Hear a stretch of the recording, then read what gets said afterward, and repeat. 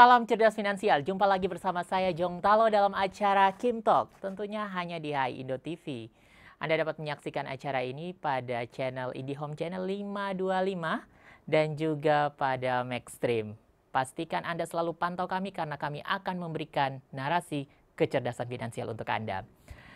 Setiap orang akan mewujudkan mimpi yang terindah. Mewujudkan mimpi tentu butuh pengorbanan dan butuh keuangan. Dan Kim Talk spesial hari ini membahas tentang reksadana untuk persiapan pensiun dan pendidikan anak.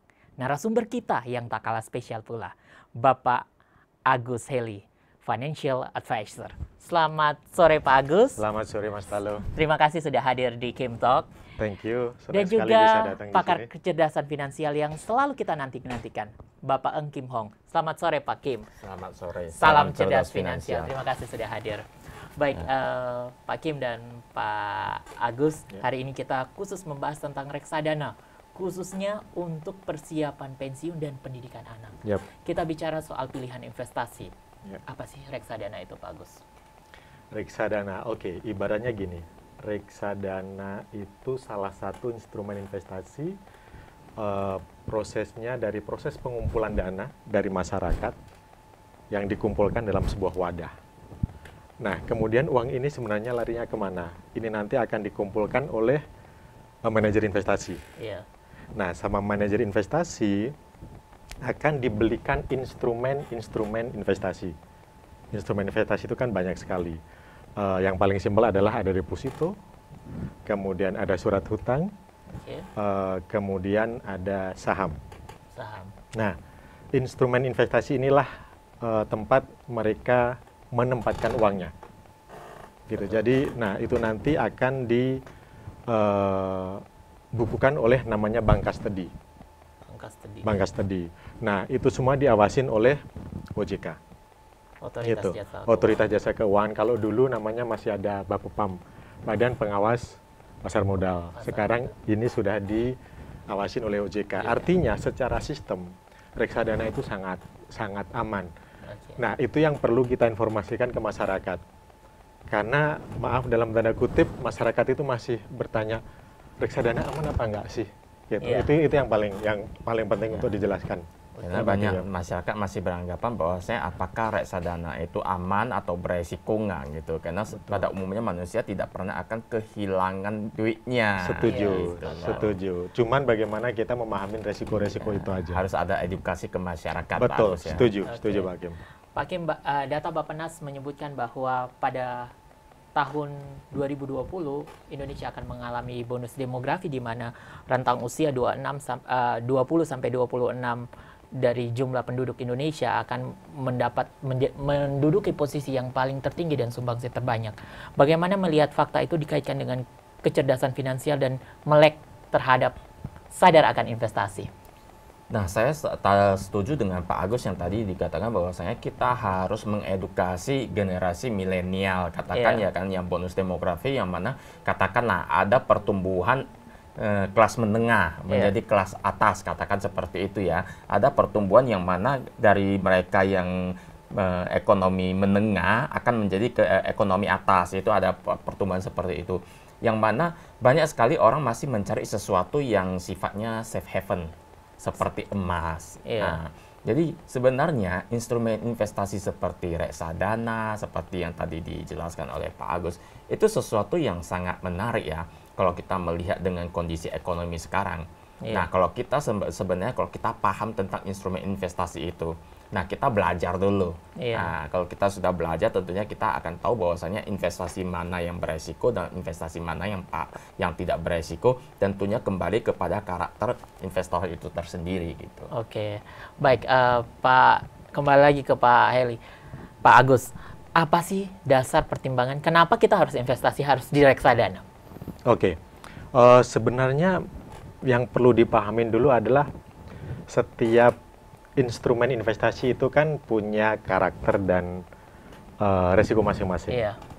Kalau ditanya tentang benefit reksadana itu banyak sekali. Yang pertama adalah satu, kita itu kalau kita bandingkan dengan investasi yang lain, contoh tadi emas atau mungkin kalau orang tua kita dulu meng- mengajarin tanah, properti, properti. gitu kan, itu kan juga memerlukan modal yang sangat besar. Kalau Iya. reksadana satu sangat eh, terjangkau, terutama kalau kita bicara generasi milenial. Iya. Yes. Bahkan 100 ribu, 200 ribu pun sekarang kita sudah bisa memulai investasi di reksadana.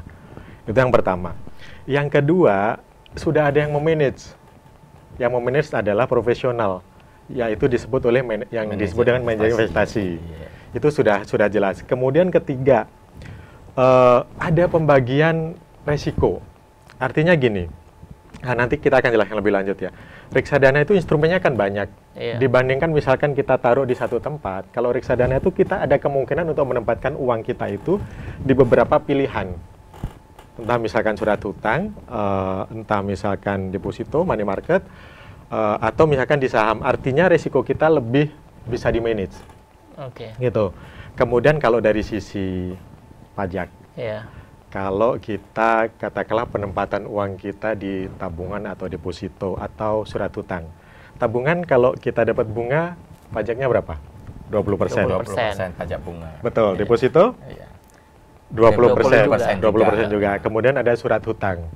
Surat hutang itu contoh misalkan kita sebut surat hutang pemerintah lah. Iya. Ada ORI, ada SBR, ada Sukuk, ada FR. Kemudian ada corporate bond juga. Semuanya kan kena pajak 15 persen. 15%. 15%. Nah, kalau dari reksadana itu eh, pajaknya biasanya hanya dari pajak pembelian. Oke. Gitu. Contoh nih, misalkan eh, kalau misalkan ada biaya untuk masuk ya beli reksadana, katakanlah kita bicaranya 10 juta lah. Betul. Eh, misalkan biaya pembeliannya misalkan hanya satu persen, Yes. artinya hanya kena berapa? Eh, 100 ribu. 100 ribu. Seribu ya. 100 ribu kita hanya kena pajak misalkan hanya 0 eh, hanya 10 persen dari 100 ribu Ya, atau berarti 0,1 10 ribu rupiah. 10 ribu. Yes. Kemudian misalkan dalam beberapa periode dia dari 10 juta menjadi let's say 15 juta nih. 15 kan ada juta. keuntungan 5 juta. 5 5 juta. juta. Itu sudah bukan merupakan objek pajak. Oh.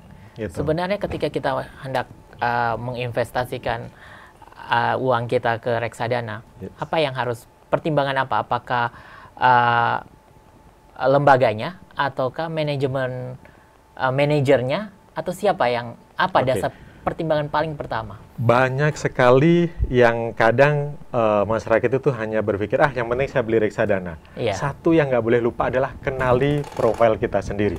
Itu yang banyak orang lupa. Profil Iya. seperti apa yang harus dikenal? Eh, gini, eh, sekali lagi gini, rambut kita boleh sama hitam nih, Iya. kecuali saya, saya putih. Eh, rambut boleh sama hitam, tetapi setiap orang itu punya profil resiko yang berbeda-beda. Ada yang konservatif, ada yang Moderat. moderat, Moderat? ada yang agresif. Ada yang agresif. Nah, Oke. yang tahu siapa? Yang tahu kita sendiri. Makanya sebelum beli reksadana itu ada namanya risk profiling. Tujuannya adalah untuk mengetahui sebenarnya saya ini cocoknya beli reksadana yang mana. Karena reksadana pun jenisnya macam-macam. Iya. Biasanya yang pertanyaannya adalah satu, eh, tujuan dia beli reksadana apa? Apa ya? Itu yang juga mesti dijelaskan karena masyarakat kadang juga ini Pak Kim, eh, mereka lupa untuk menentukan tujuan dulu. Karena kecenderungan orang Indonesia berinvestasi itu adalah lebih kepada ikut-ikutan. Setuju ya Pak Agus ya, ya? setuju. Iya. Ya, tapi mereka tidak jelas. Oke, tujuan saya sebenarnya mau buat apa? Kalau kita bicara tujuan investasi kan macam-macam. Ada untuk pendidikan, ada untuk pensiun, atau ada misalkan suatu saat persiapan menikah. Nah, Iya. kalau kita nggak tahu tujuannya, kita harus tentukan dulu tujuannya. Karena apa? Di situ kita akan mengetahui kita bisa invest ini kira-kira untuk berapa periode, berapa lama. Oke. Nah, itu juga akan menentukan eh, profil kita, ada hubungannya. Tujuannya apa, kemudian income dia berapa, kemudian berapa persen yang dia akan investkan Alokasikan. alokasikan. Nah, nah dari situ kemudian akan ditanya lagi, pengalamannya sudah berapa banyak, tentang apakah sebelumnya sudah pernah atau belum. Terus sumber income-nya dari mana. Nah, itu perlu kita tanya dulu. Nah, di situ itu tidak ada jawaban yang benar, tidak ada jawaban yang salah ya Pak Hakim. Iya. Itu benar-benar seperti saya ingin tahu profil saya seperti apa. Nah, di situlah akan ketahuan saya itu masuk kategori profil yang mana. Begitu kita sudah ketemu profilnya, baru kita, oh berarti cocoknya, eh, misalkan si A cocoknya di reksadana jenis A. si Ya, B saham. cocok. Nah, Ya, betul. Masing-masing ya. berbeda ya Pak Kim Ya, ya. betul. Seperti itu. Itu yang pertama. Pertim eh, tadi kan pertanyaannya pertimbangannya Pertimbangan apa? ya. Yang pertama adalah kenali dulu resiko Anda. Profil Anda, profil Ya, resiko diri Anda. sendiri, Diri sendiri diri dulu. sendiri, begitu. Iya. Jadi bukan karena ikut-ikutan, oh teman saya eh, invest di A, dia ternyata satu tahun menghasilkan let's say 15%, kok menarik sekali atau 20%, terus dia ikut-ikutan. Belum lagi yang belakangan ini Pak Agus ya. Yes. Belakangan ini kan banyak sekali yang menjanjikan profit 30%, 50% dalam satu bulan gitu Iya. loh. Betul. banyak ikut-ikutan. Betul. Makanya eh, itulah eh, perlunya edukasi ke masyarakat. Edukasi. Setelah Gitu. kita mengelari profil, Profil resiko, kemudian eh, tadi kedua tentukan dulu saya invest di reksadana tujuannya buat apa, ah, gitu kan? Eh, kemudian kenalin eh, jenis-jenis reksadana, ya, pahamin dulu produk ini. Kemudian pilihlah manajer investasi yang kredibel. ya. Artinya yang memang secara kredibilitas sudah bagus, kemudian track recordnya bagus, performanya bagus. Nah di masa di masyarakat kan pilihan reksadana itu banyak ratusan, Hmm, gitu dan itu semua bisa kita pelajarin, bisa kita cari informasinya. Oke. Gitu. Apalagi untuk saat sekarang semua informasi sudah terbuka ya. Sudah sangat terbuka. Kita akses di internet betul, saja ya. betul. Misalkan kita Hmm. Google aja reksadana terbaik 2019 gitu misalkan. iya. Di situ akan tahu.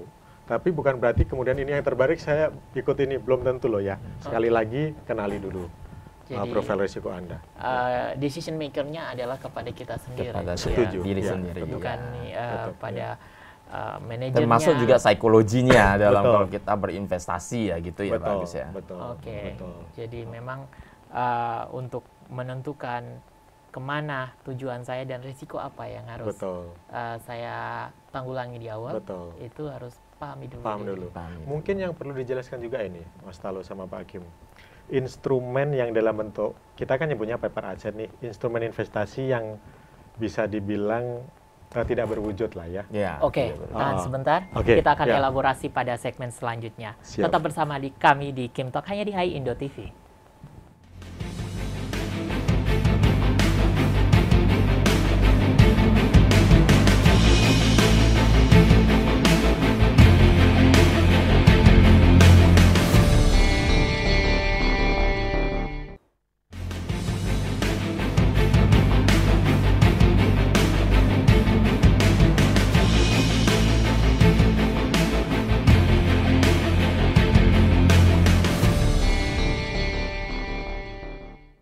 Masih bersama kami di Kim Talk. Program ini dapat Anda saksikan pada IndiHome Channel 525 Maxstream dan pantau terus sosial media kami. Masih dalam topik reksadana untuk persiapan pensiun dan pendidikan anak bersama narasumber kita, Financial Advisor Agus Heli. Pak Agus, Yes, kita Pak. bicara soal reksadana. Ya. Keputusan ada pada uh, diri kita sendiri. Yes. Nah, dan uh, keputusan untuk ke mana kita mau memilih, untuk Ya. menentukan tujuannya, itu tergantung diri kita sendiri. Dan Setuju. kenali dan pahami diri kita sendiri. Ya. Melanjutkan yang tadi Pak Agus. Ya. Itu bagaimana uh, bedanya reksadana dengan asuransi. Karena kalau kita bicara resiko, asuransi juga memproteksi resiko yang akan terjadi. Oke. Nah, eh, ini sesuatu yang mungkin di masyarakat juga masih Rancu mix ya? up gitu, Rancu, masih rancu iya. gitu ya. Kita bicara tentang proteksi dulu. Ya, Masyarakat selalu bilang gini, sebenarnya asuransi itu untuk proteksi apa sih gitu. Mereka akan bilang, biasanya menjawabnya apa? Proteksi kesehatan. kesehatan pastinya. Kedua proteksi jiwa. Jiwa, Sebenarnya kalau dari sebagainya. sisi kita bicara tentang perencanaan keuangan, eh, sebenarnya kalau kita yang memproteksi kesehatan sebenarnya siapa sih diri kita sendiri Iya. dengan menjaga kesehatan kita, gaya hidup yang Iya, benar pola gitu, makan yang pola makan yang benar, benar. Pola hidup. cocok, Betul. gitu. Nah, sementara kalau jiwa itu maaf hubungannya dengan Tuhan. Yang Tuhan. Kuasa, ya. Nah, sebenarnya eh, proteksi itu adalah memproteksi aset kita. Itu yang perlu diluruskan. Memproteksi aset-aset kita apabila terjadi resiko. resiko hidup. Gitu. Iya. Nah, eh, jadi yang diproteksi adalah supaya aset-aset kita ini tidak terbawa. Bayangkan karena kita sudah kerja mati-matian mengumpulkan aset, tetapi kalau tidak punya proteksi, ya itu tadi yang akan dikorbankan. Betul. Kan begitu. Nah, apa bedanya sama reksadana? Mungkin eh, masyarakat menganggap gini, di di asuransi itu ada namanya unit link. Iya. Iya. Mungkin maksud Mas Talu ini Pak Kim eh, untuk dana Dana pendidikan, pendidikan, dana iya. pendidikan. Nah, sebenarnya dua-duanya bisa dipakai. Kalau kita beli reksadana, memang artinya murni ketujuan kita adalah investasi. Iya. Tapi kalau kita belinya unit link, itu di dalamnya ada manfaat tambahan, yaitu satu proteksi jiwa, kemudian eh, proteksi kesehatan. Nah, kalau yang kesehatan ini boleh diambil, boleh tidak. Jadi sebenarnya kalau unit link itu sebenarnya investasinya di dalamnya ke mana sih? Ya ke reksadana juga. Iya. Bedanya kalau terjadi resiko, yang di reksadana tadi tidak ada tambahan proteksinya, kalau di unit link ada tambahan proteksinya. Bedanya di situ. Itu yang perlu dipahamin. Gitu. Kemudian kalau di asuransi ada misalkan pendidikan biasanya itu adalah eh, produk endowment dwiguna. Jadi misalkan kita eh, invest beberapa tahun nanti akan muncul di tahun Bonus- sekian bonusnya, seperti ya. itu. Tahunannya, Nah, begitu. itu bonusnya dari mana? Sebenarnya sama perusahaan asuransi kan diinvestasikan juga. Iya. Nah, kemudian sama mereka dibikinlah scheme bagaimana nanti bisa dipakai untuk dana pendidikan. Iya. Seperti itu. Oke. Gitu. Eh, kalau kita bicara soal reksadana, apakah sama dengan saham? Nah, ini yang perlu diluruskan juga. Iya. Saya sebutin instrumen investasi dulu ya. Oke, jenis-jenis Oke, jenis- yang instrumen keuangan, Keuangan lah ya. lah. Satu, tadi udah disebutkan tabungan. Itu Oke. yang paling simpel.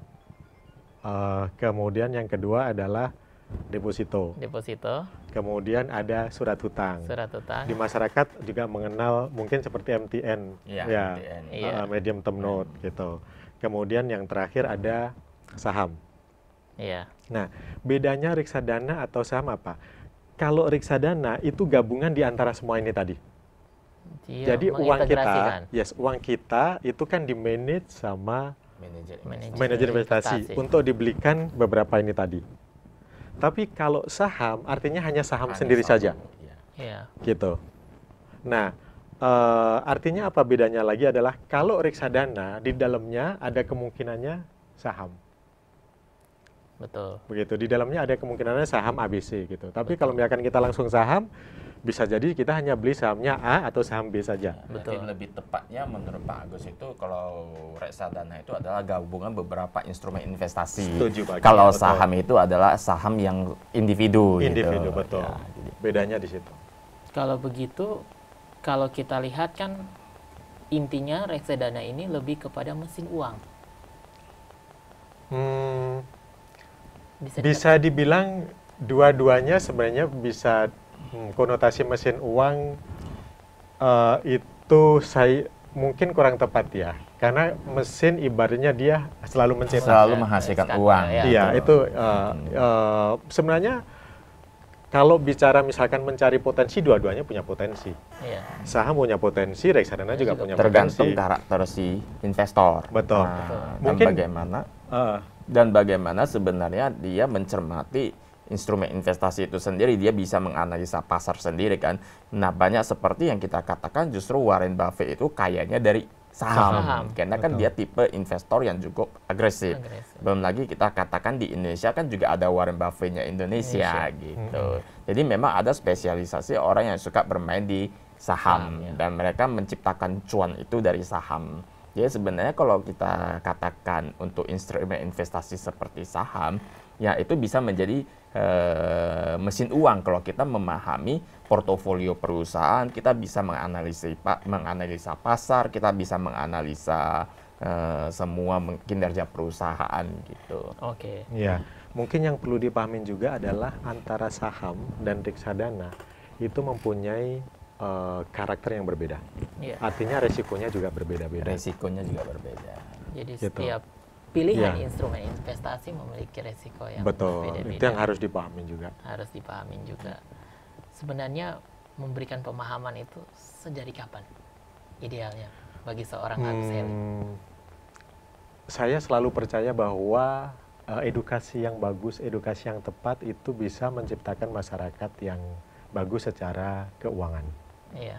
gitu terutama edukasi tentang uh, keuangan ya data OJK itu di Indonesia yang mendapatkan literasi tentang keuangan itu kurang lebih hanya sekitar 30 persen artinya yang 70 persen kan masih belum mendapatkan kalau tentang edukasi lebih bagus memang yang paling kecil ya dari keluarga. Iya. Tetapi kan again tidak semua family pun juga melek memberikan invest, uh, edukasi informasi, betul ya. yang benar gitu. Artinya yang bertanggung jawab ya ya kita kitalah pelaku keuangan untuk memberikan edukasi. Mulainya dari usia berapa? Eh kalau tabungan dari kecil kita sudah bisa. Iya. Kalau Yang reksa celengan ayam itu Nah, ya. itu kan sebenarnya bentuk dari edukasi Edukasi juga. Edukasi juga. Betul kan? Nah, semakin ke deposito, ke surat hutang, itu kan pemahamannya harus lebih mendalam. Iya. Contoh surat hutang juga artinya eh, juga harus dipahamin karakter surat hutang itu seperti apa. Reksadana begitu juga. I- kalau peraturannya sih sebenarnya harus dewasa ya Pak ya. Ya. Kalau di Indonesia dewasa berapa? 18, Delapan. 21, rata-rata Kalau sesuai 21 dengan sih. Iya. 21 dan itu pun kalau reksadana ada kewajiban pendidikan itu juga minimum harus SMA Iya. Iya. gitu. Eh, kita tidak bilang bahwa yang pendidikan SMP SMP, itu SMA tidak boleh, tidak, tidak kan? boleh gitu. Eh, Cuma itu harus untuk memahaminya. Betul, Cuma betul, untuk memahami betul. mengenai pendidikan keuangan. betul. Oke. Makanya di profil penentuan resiko itu ditanya pendidikan terakhir apa. Oh, Gitu. minimal kalau di Indonesia Yes. itu adalah SMA. SMA. Ya, itu itu harus mengerti. Kemudian usia, usia juga ditanyakan. Jadi kalau ditanya idealnya berapa, produk-produk seperti ini ya 21 sudah bisa, tapi 17 18 kan juga nggak apa-apa mulai belajar. Cenderung belajar. Kalau di bawah itu kayaknya masih jarang ya. Bukan berarti nggak boleh, boleh aja kalau dia punya kemampuan. Boleh, atau dikasih edukasi yang ringan-ringan seperti Iya, yang tadi ya kan yang celengan ayam itu kan salah satu bentuk eh, investasi tapi secara tradisional gitu. Oke, Betul. ya. Kalau kita bicara soal eh, reksadana, tentunya pasti keuntungan yang dikejar. Yes. Keuntungan itu sejauh yang saya paham ada yang agresif, ada yang moderat. Ya. Bagaimana reksadana berada pada posisi yang mana? Nah, itu yang good question. Thank you Mas Talu. Perlu dipahamin masyarakat bahwa reksadana yang, yang terbuka, yang maksudnya berlaku di masyarakat saat ini ada empat jenis. Iya, Ya, Eh, yang pertama adalah pasar uang, oke. eh, kita nyebutnya money market. Kemudian yang kedua reksadana fixed income, Fixed pendapatan income, tetap. Yang ketiga adalah reksadana campuran Campuran atau balance. Kemudian yang keempat adalah reksadana saham. saham. Ini nanti di- dijelaskan apa bedanya dengan Apa saham itu beda, sendiri. iya. Nah, empat ini masing-masing punya karakter sendiri. Iya, Bisa dibilang yang saya sebutkan yang pertama money market itu punya resiko yang paling rendah. betul. Yang kedua yang fixed income atau pendapatan tetap ini sudah mulai moderat lah, Iya, Eh, rendah ke menengah. iya. Kemudian yang ketiga campuran ini sudah mulai eh, menengah ke agresif. Ya, agresif. Agresif. Nah, dan yang terakhir ini yang resikonya paling tinggi kalau kita bicara reksadana adalah reksadana saham. Nah, makanya tadi saya tanya mana yang cocok tadi ya untuk Betul. mendapatkan untungan. Eh, kenalin dulu Mak, karakternya masing-masing.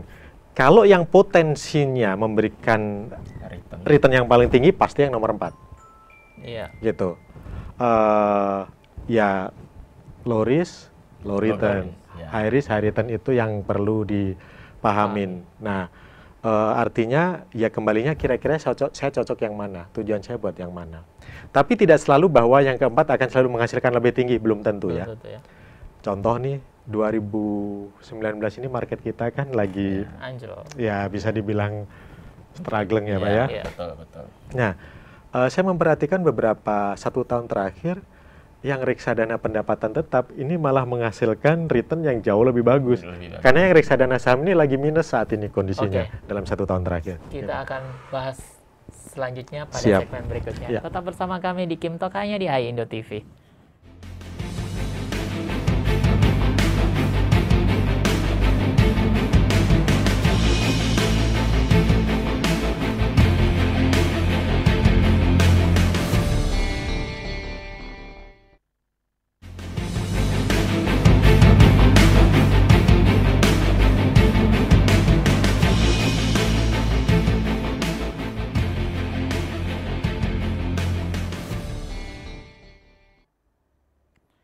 Masih bersama kami di Kim Talk. Program ini hanya tentu Anda dapat saksikan di Hai Indo TV pada channel IndiHome 525 dan juga Maxstream. Masih dalam topik reksadana untuk persiapan pensiun dan pendidikan anak. Bersama narasumber kita Agustinus Heli. Pak Agus, Yes, uh, kalau kita bicara soal reksadana tadi Bapak sudah menarasikan bahwa dengan dana yang sangat enak di kantong Iya. itu kita sudah bisa memulai Investasi. investasi di reksadana. Betul, betul. Konkretnya seperti apa? Ada contoh perhitungannya nggak? Hmm, gini, eh, lagi-lagi kembali ke tujuan. Kalau misalkan memang benar reksadana itu dengan 100 ribu kita sudah bisa memulai. Itu salah satu kemudahannya. Tapi pastikan lagi bahwa eh, kita punya tujuan yang apa. Misalkan contoh untuk persiapan pensiun, contoh gitu ya. Contoh untuk perhitungan pensiun. Ya saya mensyaratkannya ya sesuai kalau bisa jangan 100 ribu Iya. gitu loh. 100 ribu Iya. bagaimana bisa untuk pensiun Nah, gitu maksud ya. saya gitu. Itu Iya. yang perlu di Untuk biaya hidup aja kurang ya Pak ya. Betul. Nah, kita ambil contoh ya, Mas Talu. Ada Misalkan contohnya gini, eh, kita ambil rata-rata usia 35 mungkin. Iya. Iya. 35. 35 biasanya sudah mulai berpikir persiapan dana pensiun, Iya. apalagi 40, 50. Iya. Eh, contoh gini, 35 kit- kalau pengen pensiun kita harus tahu dulu nih, pensiun kira-kira saya usia berapa? Misalkan nih Mas Talu pensiun pengen usia berapa misalkan? Eh, 60, 60 Let's say tahun, 60. ya. 60. Kemudian kita harus menghitung dulu kira-kira berapa banyak sih da- dana yang saya perlukan. Itu yang kadang masyarakat lupa. Iya. Nah, kita ambil contoh konkretnya gini. 60. Dari 60 harapan hidup manusia rata-rata berapa? 20 Dua- tahun 20 untuk Indonesia. tahun. Oke, artinya dari 60 ke 80. 80. 80. Mas lalu pernah nggak membayangkan suatu saat kalau saya pensiun kira-kira gaya hidup seperti apa? Itu mesti clear dulu.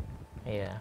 Contoh eh, gaya hidup yang normal lah ya, maksudnya tidak berlebihan, tidak kekurangan rata-rata kan maunya seperti itu. Iya. Kalau berlebihan enak ya pak ya. Iya. tapi yang yang hidup yang nyaman, katakanlah berapa per bulan misalkan, mata lo? Ya, kalau di ukuran Jakarta, Jakarta, ya, misalkan ya, berapa? 5 10 juta, 10 lah juta ya, Ukurannya sudah. Jakarta 10 juta ya. sebulan. 10 juta. Oke. Artinya sebulan 10 juta, kalau satu tahun kita perlu 120 100 juta. 120 juta. ya. Harapan hidup manusia kita tadi kan 20, 20 tahun. tahun. Artinya 120 kali 20. 240. 2,4 2,4 2,4 M. M, ya. Ya. Nah, itu yang perlu disiapkan. Nah, Mulai sekarang ya. Mulai mulai sekarang saat ini. mulai saat ini. Jangan setelah pensiun baru Baru disiapkan. pikir ya. Nah, seperti itu. Nah, kemudian kita tahu sekarang usia kita berapa tadi? Misalkan 35. 35. Ya. 35 sampai ke pensiun artinya 35 ke 60 kita Berarti punya waktu 25 tahun. 25 tahun. 25 tahun. 25 tahun. Nah, 25 tahun saya pakai kalkulator ya. Iya. Kalau kita menghitung biasa. Kita menghitung biasa, tadi kita perlu berapa tadi? Eh, Eh, 2,4. 2,4 M. ya. 2,4 M itu kalau misalkan kita punya waktu 25 25 tahun. 25 tahun. 25 tahun itu berapa bulan ya? Berarti 120, 240, 208, eh 300. 300-an. Pas 300. Oke, 300. Ya, Oke. 300. Kalau 2,4 M dibagi 300 bulan artinya kita harus menyiapkan 8 juta Per bulan. per bulan. per bulan. Besar juga ya. Nah, iya kan? Iya. Nah, eh, itu kalau kita menabung biasa artinya setiap bulan kita sekarang harus mulai menabung nih 8 juta. 8 juta, 8 juta, 8 juta dengan harapan pada saat pensiun kita bisa mengumpulkan 2,4 M tadi. Iya. Nah, keuntungannya kalau di reksadana, kita bicara reksadana. Eh, saya Tadi itu bagaimana Pak Agus ya kan kalau kita berhitung kan kalau kita menabungnya mulai sekarang ya kan Iya. tidak dihitung inflasi. Inflasi. betul, Iya. makanya Nah, sementara itu- inflasi itu kita analogikan itu katakan inflasi itu 10% lah setiap tahun kenaikan Naik kenaikannya. 10%. Itu dia, Nah. padahal saya belum menghitung inflasi. Artinya kalau plus inflasi harus lebih banyak Ah, dari Iya, itu tadi. kata 10% Bener setiap kan? tahun. Artinya gitu kan. Nah, oke, kit- itu tadi pertimbangan tanpa tanpa inflasi. Eh, oke, sebenarnya dana pensiun itu kita bisa siapkan dengan Iya. dua cara. Yang pertama, kalau di perencanaan keuangan itu ada namanya dana abadi. Dana abadi. Kita siapkan sebuah dana yang sampai kapan pun itu tidak akan habis. Contoh, kita tadi per tahun kan perlu 120 juta. Yes. Betul. Misalkan kita perlu punya uang 1,5 M. Iya. Kita taruh instrumen investasi yang menghasilkan 10%. Betul. Berarti menghasilkan berapa? 150 juta. Iya.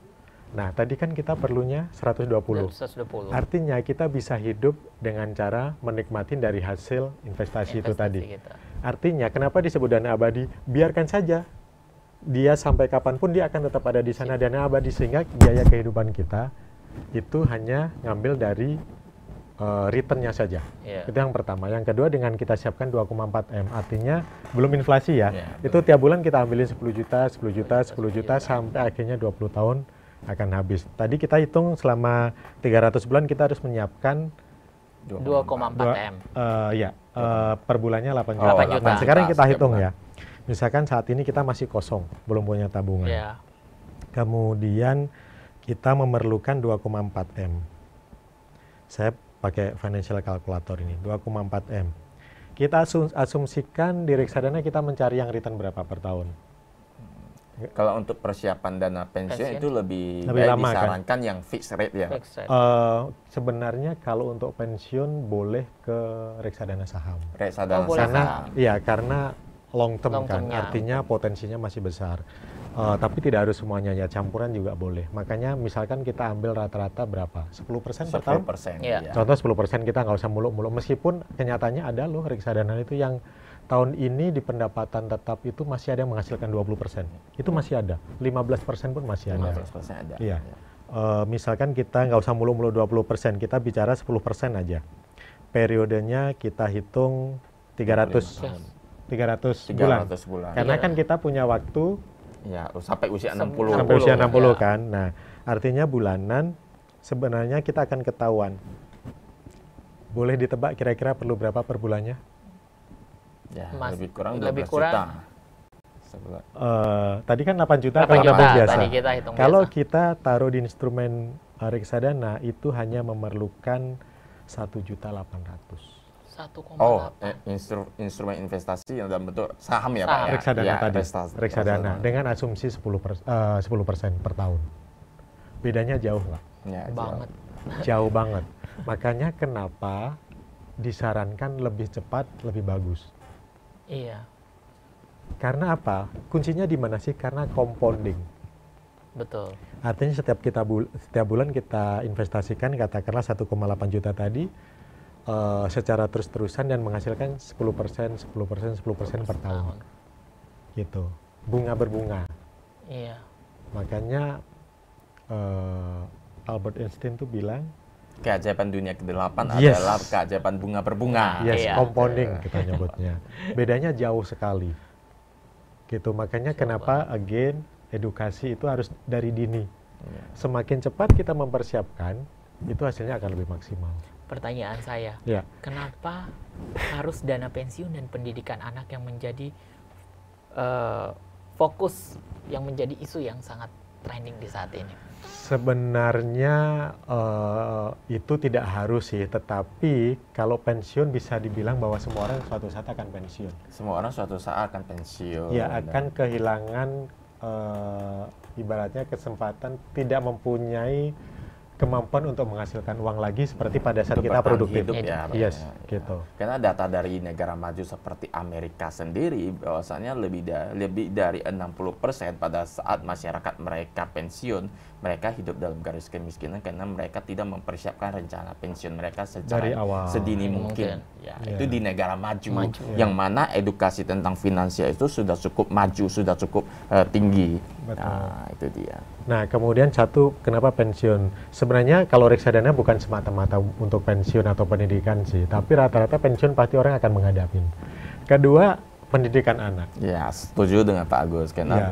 dana pendidikan itu setiap tahun naik 15 persen. Betul, betul. Sekitar ya 10, Ya, 15 persen 10, ya. 15. Sementara gaji belum tentu naik.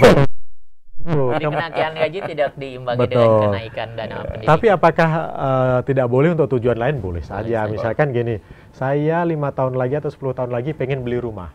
Sebenarnya boleh aja, nggak apa-apa. Bisa ya. Gitu, bisa aja. Atau misalkan saya invest di reksadana buat jalan-jalan. Boleh aja. Gitu. Nah makanya harus clear dulu nih, saya invest itu tujuannya buat apa? Orang hanya, oh yang penting saya invest. Iya. Sehingga dia nggak ada panduannya, saya invest tujuannya buat apa? Itu harus clear dulu. Oke. gitu. Nah, kalau kita bicara tujuan keuangan rata-rata manusia apa sih Pak Kim? ya, Rata-rata itu kan? ya rata-rata itu. Ya karena manusia kalau cenderung lebih memilih ke mana ya. Mereka lebih kalau untuk eh, prioritas ke anak, kalau enggak ya prioritas diri sendiri itu tentunya untuk pensiun. Pensiun. Gitu. Iya, rata-rata itu. Ya mungkin untuk menikah, untuk beli rumah, beli mobil, pendidikan anak, pensiun. Ibadah pun bisa. Ibadah, betul, setuju. Oh, Oke. Ya. Sebenarnya kalau kita bisa bicara soal resiko tadi, yang perlu di-highlight dari resiko ketika kita berinvestasi di reksadana itu apa? Oke, Eh, perlu dijelaskan dulu bahwa jangan lupa investasi apa pun itu pasti ada Resikonya. resikonya itu berarti dipahamin dulu. Bahkan makan atau minum aja ada resikonya, Pak ya. Resiko keselak gitu. Keselak ya resiko. Image-nya kalau gini, kalau ada kata reksadana mereka selalu bilang, oh itu resiko. Konotasinya gitu. negatif terus Iya, ya, Pak ya. konotasi. Padahal enggak. Padahal perlu dipahamin bahwa eh, semua jenis investment itu ada resiko. Contoh lah, kita buka bisnis kan juga investment. Iya. Iya, Apakah selalu berhasil? Buka Belum warung tentu. deh, belum tentu. belum tentu, ya kan? Beli emas apakah selalu Belum tentu. pasti naik? Pasti naik, belum tentu. Belum tentu. Belum tentu. Yang orang-orang dulu mungkin bilang beli tanah, properti pasti naik. Apakah benar? Oh, Belum tentu Apalagi juga. sekarang kondisi properti udah lagi bubble ya, Pak. Iya. Oh, ibaratnya ya masing-masing pasti ada resiko. Nah, kalau bicara resiko adalah resiko reksadana macam-macam. Satu, resiko yang paling berhubungan pasti resiko ekonomi lah, resiko pasar. Contoh itu sangat berhubungan sama politik. Politik. Oke, Pak Ekonomi, Agus. ya. Kita akan elaborasi pada segmen Siap. selanjutnya. Tetap bersama kami di Kim Talk hanya di Hai Indo TV.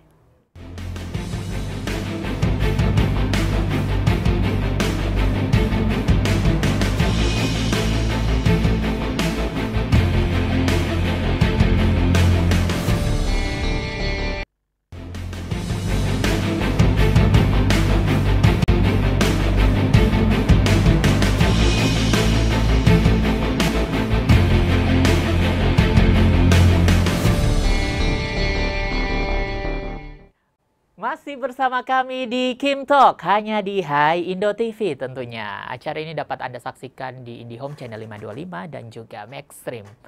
Dan tentunya masih dalam topik reksadana untuk persiapan pensiun dan pendidikan anak dan dengan narasumber yang tak kalah spesial, Bapak Agus Heli. Pak Agus, bagaimana Yes. strategi kita untuk berinvestasi di reksadana?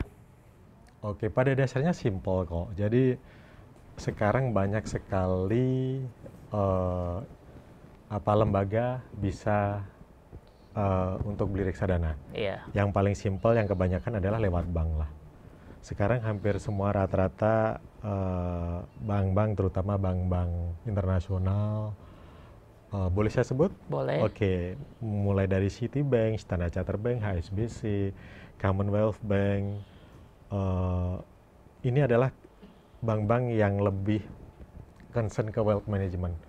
Iya. Itu kita bisa di sana. Yang kedua, bank-bank yang eh, swasta nasional, mul- multinasional pun sekarang juga bisa. Mulai dari Bank Mandiri, BNI, BRI, CIMB Niaga, Bank nasional Bank ya nasional tentunya. sebutkan. Semuanya mereka juga eh, menjual reksadana. reksadana. Kalau lewat bank kita hanya seperti biasa punya tabungan pastinya. Kemudian mereka akan menyediakan yang namanya profil risiko tadi. Kemudian mereka akan memberikan informasi jenis-jenis reksadananya. Mereka akan memberikan fund fact sheet namanya.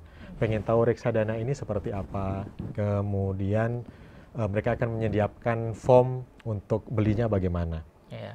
itu bisa dilakukan lewat bank. Simpel sekali. Kemudian kalau kita strategi lain yang yang eh, di luar bank sebenarnya sekarang juga banyak sekali.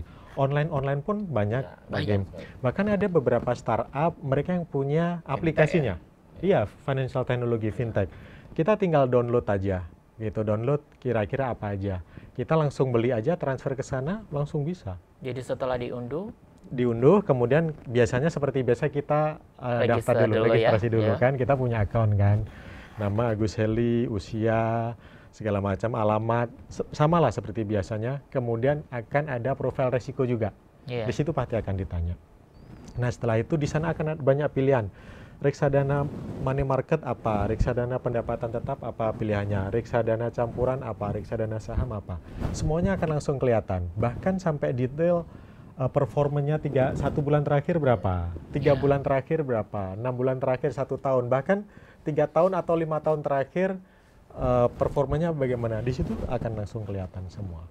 Gitu. Jadi tinggal kita invest. Misalkan saya milih produk A nih gitu kemudian Betul. akan muncul disebutkan oh oke kalau beli produk A silakan transfer uang anda kemudian kita transfer Nah, dari situ nanti akan dapat surat konfirmasi. Dan satu lagi akan dapat surat konfirmasi dari bank custody. Biasanya mereka akan kirimkan saat ini sih email ya. Iya. Tapi ada juga yang masih dikirimkan lewat surat. Gitu. Oke. Ya. Apakah melihat rekam jejak dari provider eh, penyedia reksadana itu menjadi satu hal yang penting? Kalau Atau menurut pada saya, produknya? menurut saya sih perlu dipertimbangkan eh, manajer investasinya yang mana gitu kan ya. Eh, di Indonesia kan juga banyak sekali. Iya. Sek- eh, seperti saya bilang tadi, pastikan bahwa in- eh, manajer investasinya juga yang kredibel Iya. gitu. Itu juga boleh lah sebagai Kategori kredibel manajer investasi yang kredibel seperti apa? Satu, eh, dia track recordnya sudah berapa lama? Iya. Kan manajemen investasi di Indonesia juga banyak, ada yang internasional, Ya. ada yang nasional. Nasional. Ada auditornya. Ada auditornya. Track recordnya seperti apa? Selama ini mereka memanage-nya eh, sebagus apa? Performanya bagaimana gitu. Dua-duanya eh, maksudnya punya keunggulan masing-masing. Even yang nasional pun sekarang saat ini juga bagus-bagus. Yang yang kita bilang internasional juga bagus-bagus gitu. Oke ya. Banyak sekali pilihannya sekarang. Oke, kalau kita bicara soal reksadana di saham, Ya. kadang kalau kita sudah punya saham, harga tinggi cepat-cepat kita jual Ya. dan harga eh, Saat harga jatuh, jatuh kita tidak berani ti- tidak menjual. menjual nih. Nah, Nah, ini lebih ke psikologi. Psikologi gitu. seperti apa yang harus kita bentuk tuh? Eh, again gini, kita harus menentukan dulu sebenarnya saya ini mau trading atau mau Berjudi. no, atau investing. Investing. Kalau misalkan kita bicara reksadana Iya, saham ya tadi iya. ya atau saham.